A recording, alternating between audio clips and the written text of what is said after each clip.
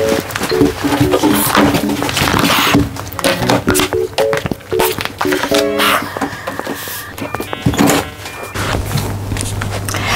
mọi người, mình là Trâm Mai. Chào mừng mọi người đã đến với kênh youtube Go With Mai. Và video clip ngày hôm nay sẽ gửi đến những bạn tân sinh viên. À, Vì mình thấy là năm học mới cũng bắt đầu rồi Và có rất là nhiều comment bảo mình rằng hãy hướng dẫn cách học bài trên đại học Hay là cách viết bài trên đại học như thế nào. Thì hôm nay mình muốn tập trung vào kỹ năng uh, take note Kỹ năng ghi lại bài vở ghi lại cái bài giảng của thầy cô ở những năm đại học nha. Để chúng ta thay vì nếu như là cấp 3 thì mình sẽ hướng đến vấn đề là có cái thành tích học tập tốt nhất. Nhưng mà các bạn biết đại học là cái uh, cái bước gọi là rèn luyện trước khi các bạn ra đời. Nên không chỉ cái việc đạt thành tích không mà đủ mình nghĩ rằng những năm đại học với cái mục tiêu còn là chúng ta trang bị đủ cho chúng ta những cái kỹ năng để có thể uh, khi mà chúng ta làm việc khi ra đời đi làm việc bán cái sức lao động để mà nhận lại cái đồng lương đó, thì chúng ta có thể làm việc hiệu quả nhất nha bởi vì là mình thấy là cái vấn đề là cái thành tích học tập trên đại học á và những cái kỹ năng khi các bạn ra đời các bạn uh, cần á nó có một cái gap nhất định nó có những cái khoảng cách nhất định. Mà nếu mà chúng ta không đặt ra cái mục tiêu rằng chúng ta muốn học được những kỹ năng để khi chúng ta lao động thì chúng ta có thể làm những cái công việc đặc biệt là việc văn phòng một cách tốt nhất á thì chúng ta ra đời thì chúng ta sẽ bị bỡ ngỡ thôi. Mình nghĩ kỹ năng những cái kỹ năng đó các bạn có thể học được. Nhưng nếu các bạn rèn luyện được từ những năm đại học á thì cái đó sẽ là một cái lợi thế rất là lớn khi các bạn đi xin việc cũng như là các bạn sắp xếp cuộc sống của các bạn nó sẽ tốt hơn ha. Vậy thì nói tóm lại á, là những năm đại học đừng chỉ tập trung vào cái việc học và nói chung là cố gắng đạt được cái thành tích tốt nhất GPA không mà hãy hướng đến việc là vừa học và vừa rèn luyện những cái kỹ năng để phục vụ cho xã hội. Ví dụ như là những cái kỹ năng nào là kỹ năng điều phối nè điều phối công việc uh, liên hệ người này người kia rồi là làm sao để cho cái công việc nó được diễn ra một cách uh, thuận lợi nhất chẳng hạn. Hoặc là kỹ năng uh, ghi chép tổng hợp lại thông tin để có thể chia sẻ cho những người xung quanh hiểu chứ không chỉ là các bạn hiểu không. Nên là cái video clip ngày hôm nay thì cũng sẽ xoay quanh câu chuyện đó. Mình sẽ giới thiệu cho các bạn rất là nhiều cái cách ghi chép trên đại học. Và trên đại học thì rất là thoải mái thầy cô không có bắt ép các bạn như là thời cấp 3 nên các bạn khá là tự do. Nhưng mà uh, mình sẽ đưa ra cái khuyến nghị của mình rằng chúng ta nên ghi chép theo cái cách nào để có thể nó cũng là một phần để rèn luyện cho chúng ta phục sau này khi đúng chúng ta đi làm thì chúng ta sẽ có những cái kỹ năng uh, ghi chép tổng hợp thông tin một cách tốt nhất nha mọi người. Rồi thì bây giờ chúng ta sẽ bước vào uh, câu chuyện rằng là ghi chép như thế nào. Thì trước khi mình đi chia sẻ vào các cái hình thức ghi chép á mình đã soạn ra ở đây. Các bạn có biết là mình đã dành ra một buổi chiều để tìm lại những cái Ok, trước tiên á, thì mình muốn chia sẻ đến các bạn các hình thức bài giảng ở trên trường đại học nha. Thì trên trường đại học á, mình nghĩ rằng nó rất là đa dạng và nó rất là tự do Nên là mỗi thầy cô, mỗi giảng viên á, thì sẽ có cái phong cách dạy khác nhau. Có người thì sẽ giao cho các bạn là à trong cái khóa này chúng ta sẽ học những cái cuốn như thế này Các bạn hãy mua những cuốn này về và uh, trước mỗi buổi học thầy cô sẽ giao cho các bạn là đọc chương nào chương nào. Xong rồi bước vào lớp thì có thể rằng là người thì bảo các bạn là tự bằng đưa ra cho các bạn những cái câu hỏi hỏi để các bạn có thể thảo luận với nhau hoặc là thầy cô sẽ giảng kỹ hơn về những điều trong sách giáo khoa. Ờ, rồi là có những thầy cô thì sẽ theo cái phương pháp truyền thống là thầy cô sẽ soạn tài liệu cho các bạn và uh, có thể là phát cho các bạn dưới hình thức là những cái cuốn đề cương như thế này hoặc là mỗi ngày vào lớp thì thầy cô sẽ phát cho các bạn cái bản in ra hoặc là thầy cô có thể chỉ uh, upload cái file đó trên uh, cái hệ thống của nhà trường thôi rồi các bạn sẽ phải tự download cái file PowerPoint và nhìn vào đó và nghe giảng chẳng hạn. Hoặc là có những thầy cô người ta không có sách giáo khoa người ta cũng không chuẩn bị sai người ta cứ vô người ta nói gọi là người ta cứ tuôn trào như suối và các bạn phải tự nghe và phải tự take note lại được. Ngoài ra thì cũng có những cái hình thức học khác ví dụ như là um, thầy cô sẽ giao cho các bạn làm một cái project nào đó và để hoàn thành cái project đó thì các bạn sẽ phải tự đọc sách tự tìm tòi tài liệu. Hoặc là thầy cô sẽ khuyến khích các bạn đọc một số cái tài liệu để hoàn thành cái project đó. Nói chung là các hình thức học ở trên đại học thì nó rất là nhiều và mình cảm thấy nó rất là hay. Rồi thì mình đã chia sẻ đến các bạn cái uh, những cái hình thức bài giảng ở trên trường đại học rồi đúng không? Thì bước tiếp theo mình sẽ chia sẻ về các hình thức ghi chép của mình. Thì mình sẽ chia sẻ từ cái hình thức truyền thống cho đến phi truyền thống ha. Thì đầu tiên á, là hình thức truyền thống là thầy cô sẽ phát cho các bạn những cái tài liệu in bản in ra như thế này đúng không? Bản in ra như thế này. Thì uh, thường thì mình có khi là mình sẽ ghi lên cái tài liệu đó luôn tức là mình nghe giảng xong rồi là mình check note trên cái tài liệu đó luôn. Thì cũng không sao. Nếu nếu thầy cô có những cái slide và thầy cô in ra như thế này mình không phải đi in á thì mình sẽ ghi hẳn lên cái tài liệu này luôn.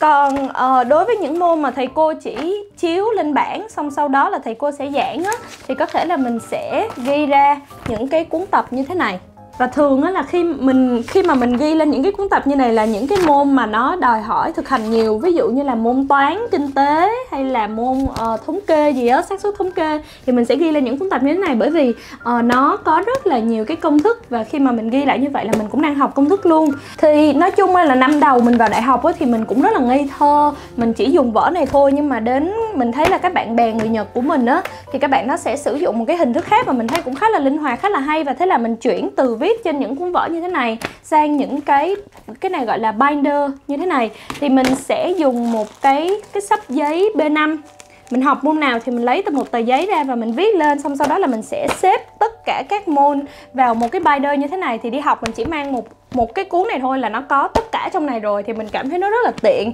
Thì các bạn có thể thấy là uh, trong cái cuốn binder này binder này của mình đây là cuốn binder B5 nha mọi người. Thì trong cuốn binder này của mình mình chia ra các môn là kinh tế vi mô nè toán kinh tế nè uh, lịch sử kinh tế nè uh, tài chính rồi là tiếng Anh hoặc là uh, kế toán. Thì mình sẽ bỏ tất cả mà nói chung là khi cái file nào mình viết xong thì mình sẽ uh, nhập nó vào cái kẹp nó vào cái binder như thế này ha? Rồi. Và một hình thức ghi chép khác khá là giống với lại những cái binder như thế này nhưng mà nó sẽ được số hóa hơn nó sẽ được điện tử hóa đó chính là mình viết trên cái iPad. Thì khoảng mình học năm 3 năm 4 thì Apple bắt đầu uh, phát hành cái loạt iPad mà các bạn có kèm với cây bút như thế này thì mình cảm thấy nó cũng rất là tiện. Bởi vì là nếu mà thầy cô không có phát cho bạn cái tờ giấy á, thì các bạn có thể ghi chú thẳng lên đó luôn. À, một trong những cái gọi là khó khăn một cái thử thách lớn của việc đi học đại học là thầy cô không nhất thiết phải phát tài liệu cho các bạn nên là nhiều khi các bạn cần ghi cái gì các bạn không thể ghi trực tiếp vào cái tài liệu đó được. Nên là uh, đôi khi là kiểu chúng ta ghi bài đại đại xong rồi về không biết là thầy cô đang nói cái khúc này là nó ở cái slide nào thì cái ipad nó giải quyết một cái vấn đề là khi mà các bạn mua cái ipad các bạn có thể ghi trực tiếp lên đó thì các bạn sẽ nói chung là ghi được ngay ghi chú được ngay cái chỗ mà thầy cô đang nói ha mà không có sợ là mình bị uh, lạc mất. Rồi và một hình thức phổ biến khác khi các bạn lên đại học và các bạn cần dùng cái đó chính là không thể nào thiếu được là một cái chiếc laptop để các bạn có thể viết bài luận và nộp cho thầy cô cũng như là ghi chú khi các bạn đang nghe giảng. Thì uh, đối với cái việc là dùng laptop để mà ghi chú á, thì mình sẽ dùng nó cho những cái môn nó nặng về lý thuyết. Nó ít ít khi mình dùng mình ghi chú bằng laptop cho môn tính toán lắm tại vì tính toán nó cần công thức. Và cả mình khi mình viết mình cũng rất là thích cái cảm giác nó viết viết ra để mà mình có thể nhớ. Nên là mình hay dùng tập hoặc là binder hoặc là ipad. Nhưng mà đối với những môn về lý thuyết nặng lý thuyết thì mình sẽ dùng ipad để um, sorry. Đối với những môn nặng về lý thuyết thì mình sẽ dùng laptop để ghi chú. Bởi vì là um, nói chung là mình thích cái cảm giác ghi chú gõ gõ máy tính thì nó sẽ nhanh hơn là mình viết tay. Và một cái điều quan trọng nữa là đối với những cái môn lý thuyết thường là các bạn sẽ phải viết luận, nên là mình cố gắng ghi chép trên này và mình sẽ tổng hợp lại trên này và sau đó nộp luôn cho thầy cô. Thì mình cảm thấy như vậy nó sẽ nhanh hơn thì um, bây giờ mình đã giới thiệu đến các bạn rất là nhiều hình thức ghi bài rồi đúng không? Nào là ghi trên tập hoặc là có thể là uh, ghi trên binder hoặc là dùng ipad hoặc là gõ bằng máy tính. Thì mình cảm thấy rằng một cái hình thức ghi mà nó rèn luyện cho các bạn cái kỹ năng cần thiết khi các bạn uh, đi làm á đó, đó chính là ghi chép trên máy tính. Mình sẽ rất là khuyến khích các bạn tích cực sử dụng laptop để mà ghi chép.